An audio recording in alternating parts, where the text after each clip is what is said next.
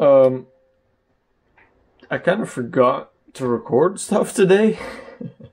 uh, not that I did a whole lot of interesting stuff to record. Um, I actually went on, went on quite a Pokemon sorting spree.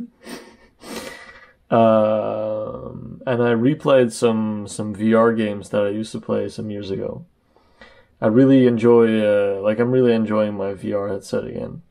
And I bought a new VR game. It's called uh, Rumble, and it's basically like earthbending from uh, you know the last Airbender in the VR game, and you get to like, you know, the whole game. There's no buttons. It's all about poses. So you got to be like, "Hoo, hoo, sa, sa." so it's fucking dope. Hard to uh, to play actually. So yeah, it's fun. Uh, but yeah, it was a pretty chill day. Tomorrow I'll have another chill day, and then we'll slowly go towards uh, more work. So yeah, lights go off now, and it's time to sleep. Um, yeah.